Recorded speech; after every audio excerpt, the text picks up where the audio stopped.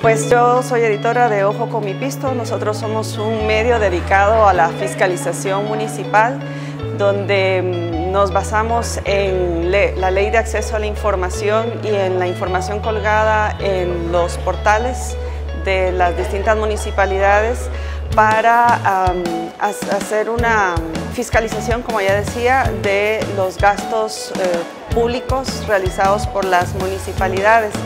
Ah, en nuestro trabajo eh, consiste precisamente en mostrar esas ineficiencias en la gestión, el mal uso o el no uso de las leyes de compras, la ley de probidad, eh, el mal uso de los recursos de las municipalidades.